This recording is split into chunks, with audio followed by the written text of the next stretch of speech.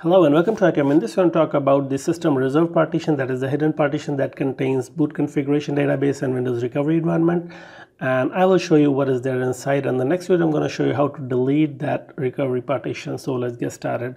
So first of all, let's go to the disk management tool by right clicking on the start button and clicking on disk management and there you're gonna see because this windows is in legacy BIOS mode installed so my disk is in MBR format. So if I right click and go to properties click on volume and then you're gonna see my disk is in MBR partition. If your machine is installed in UEFI mode then it's gonna be GPT so in case of uh, legacy BIOS installation you will have at least two partitions created by default.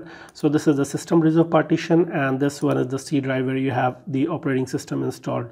Now if you see that there is no drive letter assigned to this one and there's this has the C drive. Now what is the content of this system reserve partition? It basically contains two things. The first one is it contains the boot configuration database that contains the boot related information and the second thing it contains is the recovery environment so in case if you are not able to successfully boot your machine two times. It's like uh, you had two boot failures then it's gonna automatically boot into recovery environment. Or in case if you have two unexpected shutdowns within two minutes of boot up is gonna automatically go to the windows recovery environment.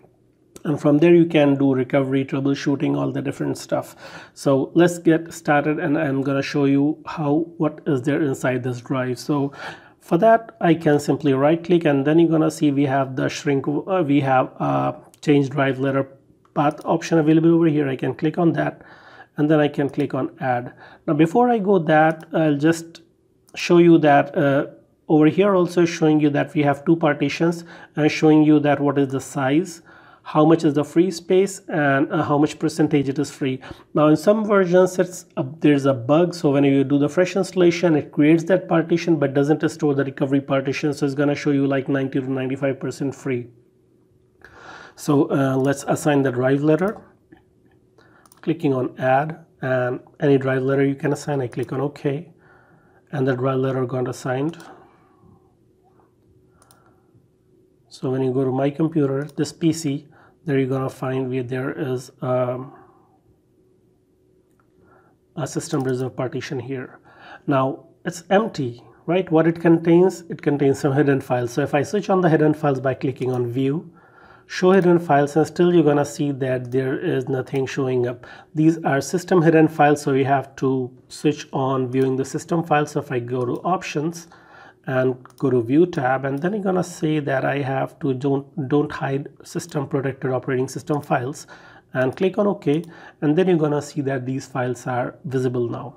Now what it contains is that first of all whenever you boot up your machine it contains the boot sector and there is a backup of boot sector so in case if you have uh, your boot sector gets corrupted you can uh, restore from here.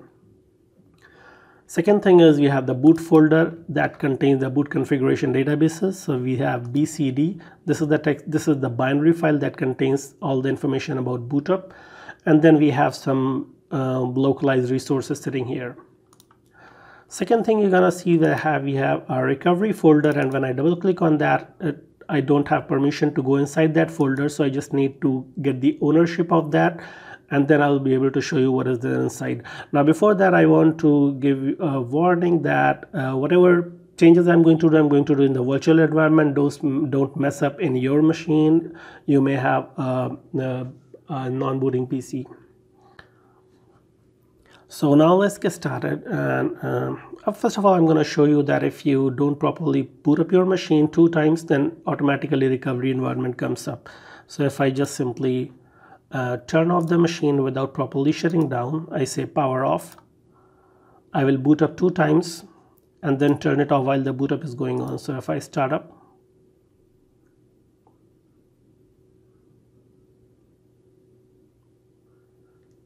now when it is booting up, I will just simply turn it off. This is the first time I'm turning off. Again, I will start the PC.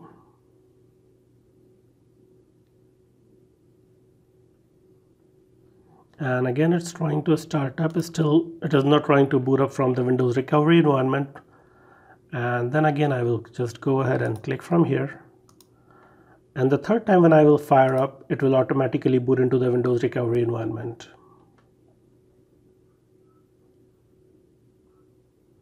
So here you can see that it's going for automatic repairs trying to repair although I don't have anything wrong over here uh, my boot configuration database everything is healthy so it's just trying to repair it and then it's going to show you a message that you want to continue booting or you want to shut down the PC.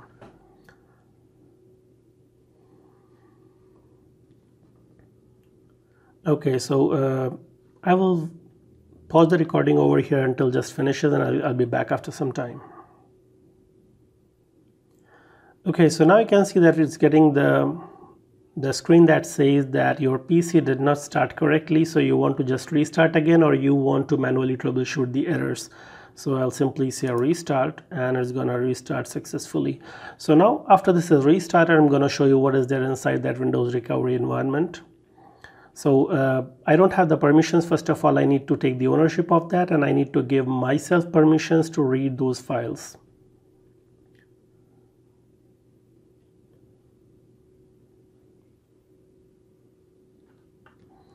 let's switch it on to full screen.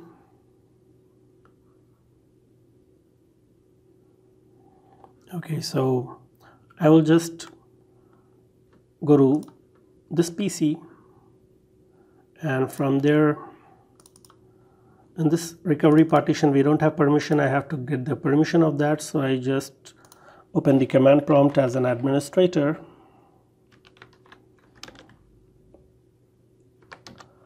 and then I need to go to that location where I have all the system reserve partition that's sitting in E drive.